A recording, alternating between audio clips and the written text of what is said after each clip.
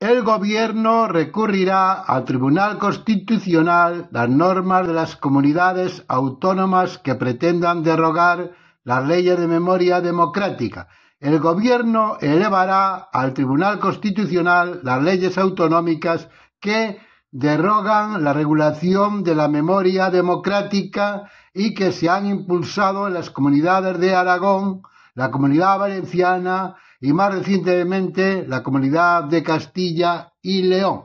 ¿Por qué será? La mal llamada Ley de Memoria Democrática es una división entre españoles, siembra el odio entre los españoles de derechas e izquierdas que nada tuvimos que ver con la guerra civil.